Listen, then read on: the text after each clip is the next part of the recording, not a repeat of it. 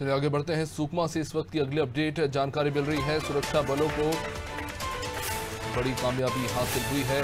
चार नक्सलियों को सुरक्षा बलों ने गिरफ़्तार किया है। कई सालों से ये नक्सली सक्रिय रहे। उनमें से एक नक्सली पर एक लाख का इनाम भी घोषित था। सुकमा के चिंता गुफा थाना क्षेत्र से इन्हें पकड़ा गया है।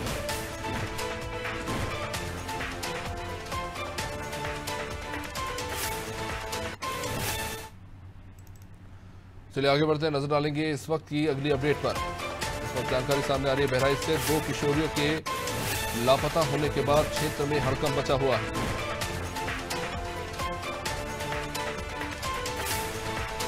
दो युवकों के ऊपर शक जताया गया है।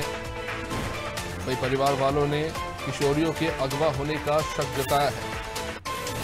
फ़िलहाल पुलिस ने किशोरियों की तलाश शुरू कर दी है। यह मामला बहराइच के रानीपुर थाना इलाके के जिगनिया गाँव का है।